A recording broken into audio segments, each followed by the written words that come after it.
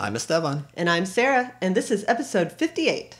In today's podcast, we're talking about success, and this is part of Dog Agility Blogger Action Day. We should also mention that we're recording this podcast in video format as well as audio only, so anybody who would like to check us out on YouTube can view the podcast that way as well. So, the topic for Dog Agility Blogger Action Day is success. And the aspect of success that we wanted to talk about today was the fact that success is not linear, especially when it comes to dog training. So, what I mean by that is success does not happen little by little at a steady rate. There are jumps forward in training. It happens a lot with latent learning in dogs where, mm-hmm. you know, they kind of go away after a session it's like they think about it in their crates and they come out more brilliant than they were before. But there are also times when training stalls out, um, and even times when there's regressions in training. I think when people think about success in dog agility, especially in training, they link it to uh, results, right? It becomes very goal oriented. You set a goal for yourself, and if you achieve that goal, you say, hey, I'm a success. And if I don't meet that goal, you know, if I fail to qualify for the national championship, or if I go to the national championship but I do poorly, then I'm not successful. And that's why we're taking this uh, different uh, slant on the topic of success. And I completely agree with Sarah. There's a very powerful idea in dog training, which helps many people through very tough training sessions. And it's the idea that your dog is going to get better. As you train more, as your dog becomes older, as you become more skilled as a trainer, you're just going to see this very linear progression. Uh, and that's just not the case. And that's something I think that people don't really think about on a very conscious level. It's something that might sound obvious when we talk with you about it now, but it's not something I think that trainers keep in the in the forefront of their minds when they're having these sessions. That's right. And so I think people can become discouraged easily rather than recognizing that this is just a normal part of training. And I think it's just human nature that people are very good at accepting the jumps forward. Uh, it almost feels like you got to skip some steps, that you're ahead of the game. You're you got to where you were planning to go a little bit earlier than you thought. Um, but then when things stall out or you have regressions, you feel like you've done something wrong. Mm-hmm. Um, that there uh, is a mistake there that you're making as the trainer or that your dog's making. So. Uh, we as trainers need to recognize that these regressions are natural and there are a couple of examples in agility that come to mind right away. One of those is two by two training. So, um, Susan Garrett's two by two method, she actually builds into the method points in time where you're supposed to take your two by twos and move them someplace else in the yard. Well, and for people in our audience who don't know, the two by two method is for teaching weave pole training, which is uh, a notorious, notoriously difficult obstacle to perform in agility. That's right. And so uh, a lot of times um, you'll have been working very, very difficult weave pole entries, working through the method. Your dog is brilliant. Mm-hmm. They are never making a mistake. You can't get them to make an incorrect entry. And then you move the poles to a different part of the yard and the whole thing falls apart. It's like they've never seen them before. Right. So now I feel like maybe Sarah's talking about me personally. I've got a young dog that I'm trying to debut in about two weeks' time uh, in novice, and I'm very excited about this dog. She's very talented. And the last part of getting her ready for this competition is to teach her to do six weave poles. And so we are using the two by two method. And I thought we had some very good sessions. It was going very, very well. Uh, we did move the poles to a different part of the yard, and the behavior did fall apart. And um, I was pretty frustrated. Um, I may or may not have thrown a clicker at a gate after I ended one session in frustration. Uh, it can be very tough. Sometimes you feel like the dog has very good understanding of the behavior that you want. And when you change something about the environment, uh, you put the weave poles a little bit closer together, or you have more distractions around, uh, and the behavior falls apart, it's a very frustrating thing because you think you're so close to having it you see yourself progressing at a very solid, steady rate, and um, you're excited to brag to your friends about it, post videos of it right. on Facebook, right? So everyone can tell you how great you are and how great your dog looks. And then suddenly it falls apart, and you say, hey, I'm just 10 days away from this competition and my dog still can't weave. So, you know, that can be very, very frustrating. And um, it, it was for me, you know, so. Right.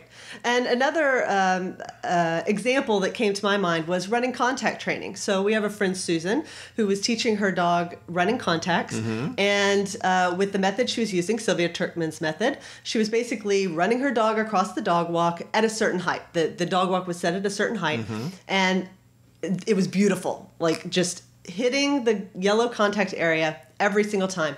Just absolutely gorgeous. She raises it like one inch and the whole thing falls apart. Right. The dog starts leaping off, right. completely missing the yellow. And again, you're in a situation where things have been progressing very nicely, and now you have this big regression.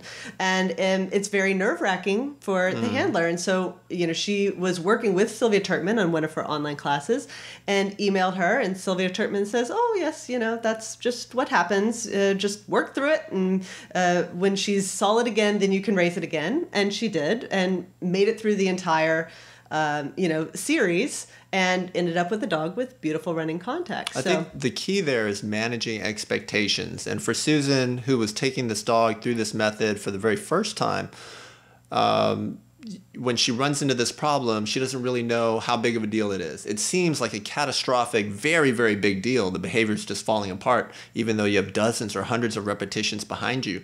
Um, but Silvia says, hey, you know, it's not a big deal. Happens to everybody that's right. Just take your time. And once someone who's been there gives you that kind of expectation, you can take a deep breath, relax, and work through it. That's right. And I think that, um, it, you know, we talk a lot about different dogs and different dog personalities and how you work through things with different dogs. I think what we often ignore a little bit is the personality of the trainers and the expectations that the trainers have and mm-hmm. the experience that the trainer has um, you know just in life and the effect that that can have on a person so mm-hmm. for myself i work in software and so i'm very used to i mean a lot of my job involves me just coding right? Like writing code to solve a problem. I know that i want to do something and i just i have the knowledge of a coding language to do it. But actually, the vast majority of my time is spent figuring out um, how I'm going to code that, the, the creative process, what the solution is going to be. And so in my line of work, I'll spend, you know, a week, two weeks kind of staring at a blank screen, uh, trying to figure out the answer to a problem, maybe even trying a few things. They don't work, trying something else, they don't work. Um, thinking through the problem and then that spark of insight comes and I spend, you know, one or two days just coding the whole thing up. So I'm very used to in my life having these spurts of progress. And so when I see that in my dogs, it doesn't bother me so much. You know, so I feel like for me personally, um, you know, that's just uh, how I feel about the way progress is made. It's something that I'm used to. Well, that's a very interesting perspective. And I think all I heard was blah, blah, blah. I get paid for staring at a blank screen for a couple of weeks without doing any work. And then I do something and then I get paid. So, you know, that's all I heard. Um, from my point of view, though, it's interesting that you mentioned your profession. So, uh, my profession, I guess my background is I, I, I, am a doctor, I'm a physician, and I work in wound care. And one of the thing that, things that's very important for us is to set the expectation with patients and with families because as as a, a doctor when someone comes to you with a problem you basically tell them hey we're going to try this and i think it's going to work i think it's going to fix it um, and sometimes a doctor can be very focused on this is going to work and not so focused on these are all the possible things that can happen or go wrong. We describe healing and wound care also as a nonlinear process, but if you're not careful, you can give a patient or a family the impression that, hey, this is going to be better starting today because I'm here talking to you. Tomorrow it's going to be twice as good. And in a week, this wound is going to be gone uh, your loved one is going to be healed up and everything's going to be okay. And sometimes that doesn't happen. You know, you can develop infections, complications, things like that. Sometimes the wounds get bigger, then they get smaller. Uh, they need antibiotics, sometimes they don't. So, for all of those reasons, uh, wound healing is not linear. And I think you see the very same parallel here in dog training. And that's why I think it's very important as instructors and trainers when you're talking with students that you really set those expectations as well as long as you're overall progressing, you're headed in the right direction, I think you are a success. You're being successful there. Even though on a day to day, session to session, or even repetition by repetition, you, you're going to have failures and setbacks mixed into there. That's right. And so I think with training and with your job in medicine, uh, the problem comes in that sometimes a stall or regression does mean you're on the wrong path. Mm-hmm. Sometimes it means you do need to change the medication for your patient. Sure. Sometimes it means you do need to change the method that you're training your weave poles or your running contacts. So, how do you deal with that situation? How do you, the trainer, decide when a regression is a natural part of learning and when you need to make a change? Right? And so, I think that there are three main ways that you can do that. I think that you can draw on your own experience you can draw on the experience of others, usually an instructor, somebody mm-hmm. like Silvia Trkman if you're teaching running contacts. And I think the third way is a healthy dose of irrational confidence.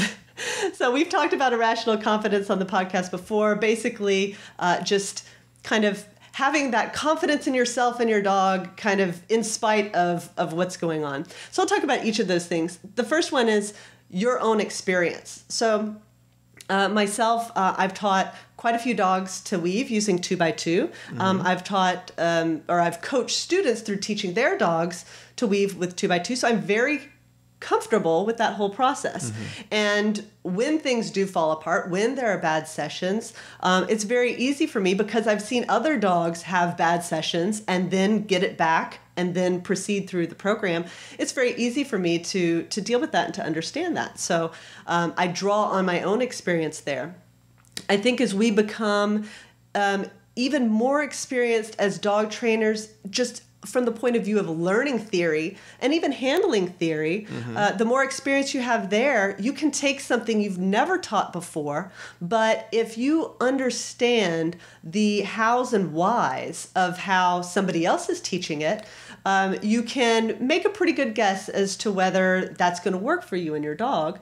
And if the theory is sound, that can help you, you know, work through those regressions as well. So, kind of drawing on your experience more generally as a dog trainer, or drawing on your experience on a very specific skill. I think your experience level definitely matters, and I think when you think about our audience here for this podcast, you, are you're going to see a lot of variety in, in the amount of experience a, a person has, not only in agility, but in dog training. You're going to have some people, I know that when we first started in agility, you, you want someone sometimes to take you by the hand and tell you to put your left foot here, put your right foot here, put your hand up this high, use this command and do it at this moment. You know, you kind of really need that hand holding. Uh, but for the more experienced competitor, you can kind of get more to the principles behind right. that. And what are we looking for here? Well, we're looking for, say, a tight turn. And these are all the different ways that you may encourage your dog to turn more tightly, either through training, uh, your motion, um, uh, your use of your arms, your eye contact, different things like that. So, depending on your own experience, you know, you're going to have a different approach to it. That's right. So then the second way I think we get through these um, spots is by using the experience of others. So uh, to me, the running contact example is just perfect. Like mm-hmm. when when things fell apart with our friend Susan when she was teaching running contacts, um, you know she if she was on her own, you know, she might not have made it through. But mm. she posted her video to Silvia, and Silvia's response was was so much like, oh yeah, that's just the way it goes. Yeah, that, that happens. No biggie, you know. And, it happens. Right. It's, it's, like when you're potty training your three year old, right? Right, right. And they, uh, you know, poop in the middle of the living room. Right. It's a no big deal. It happens. It happens. It happens. It happens. That's right. And so, you know, having that person who's been through it themselves, who's coached, you know, hundreds of other students through it, tell you, oh, that's to be expected. Uh, it'll come back and then we'll move on is very comforting and it helps you get through areas where you don't have your own experience to draw from. Mm-hmm. So, and I think uh, that irrational confidence, I think this happens so often with people who are brand new to the sport with their first dog, and especially with a dog that does well naturally, right? So these people come out, um, they they work through a class, they just kind of systematically do everything their instructor says. They get out at novice, uh, mm-hmm. probably not very well prepared, but enough to get some cues, right? Okay. And they they slowly put it together, and and many times people have great success with their first dogs and i think uh, that comes back to that irrational confidence. They just they don't even really know any better to know that they should be concerned about um, conflicting signals in their system mm. you know or anything like that. And so you know they just go out and they have this this innocence that allows them to get through it right? So this is an ignorance is bliss approach yes absolutely. dog agility. And i think it happens a lot of times with people's first dogs. And i think that's why sometimes the second dogs are so difficult. Because maybe you had a high degree of sex set a, a high degree of success with mm-hmm. your first dog and uh, but you had a problem with contacts right? Oh, so okay. you know you were beating people left and right. You know, uh, in in the masters level, you went to nationals. You had some amazing runs, top ten. You know, but you don't have a consistent contact, right? Mm-hmm. So now you get your second dog, and by golly, you do not want to mess up that contact, right? And you're paralyzed, and you don't know what to do, and now you're stuck in this really awkward situation where you don't really have enough of your own experience to draw on. It's mm-hmm. only your second dog, right? Sure. But you've lost that irrational confidence of the complete newbie to agility. Yes. Right? And so I think for a lot of people that could be a very difficult stage to get through. You pretty much, you know, you need to have uh, you know, some really good instructors that you're working with so that you can draw from their experience as well. Yeah, I think that's a very interesting perspective and one that I hadn't really thought of yeah. Right. I think that probably parallels our own experience in some ways, having had uh, very good first dogs in both of our careers. Yeah, you'd be surprised. You know, with that first dog, you just don't know what's possible, and there's no one. To, at least you yourself, you're not telling yourself, "Hey, you can't do that," because you don't know that you can do that, right. or you can't do that. So you go out and you try it, and then a lot of times you're able to do it. That's right. So, kind of the point of the entire podcast is, like you said, this is something that um, makes sense when you talk about it, mm-hmm. but I don't think it's always in people's minds. And so, when you have those lulls in your training, when you have those regressions, um, you need to be able to step back and evaluate what's going on, and you need to uh, understand that it's part of the the, the progress, the part mm-hmm. of the the path to success, and um, you need to be able to do that because of something else we've talked about recently, which is the conditioned emotional response for both yourself and your dog. It is very easy to um, get into a negative cycle where you become frustrated with your dog. Your dog feeds off of that. They become even more hesitant to offer you the behavior, uh, which in turn makes you feel even worse. So, to get out of these regressions, you you have to have a great attitude in your training. Mm-hmm. and uh, i think just being aware that it's normal can help you have that that attitude.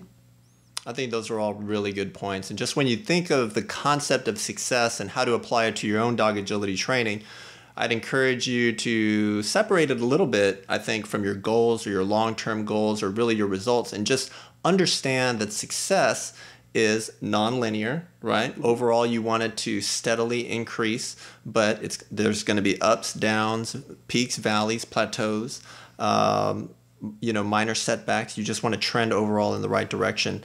And um, we have a great quote that I'd like to share with you, and that's success is the sum of small efforts repeated day in and day out. So when you're thinking about your dog training, um, I don't think there's too much value in saying, well, you know, we're going to go to our weekly class, we're going to train at home, and then we're going to go to this competition. And if we do great at this competition, if we make the world team, if we do this, that, or the other, then we are successful. And if we don't, then we are not successful. Um, but rather, because you've been having that success on a daily basis, uh, on a per session basis, and even on a per repetition basis, you're having that success every single day and you can think of um, whatever your performance is going to be as the culmination of all of those successes, but not in and of itself successful or unsuccessful, if that makes sense to you. That's right. And that's it for this week's podcast.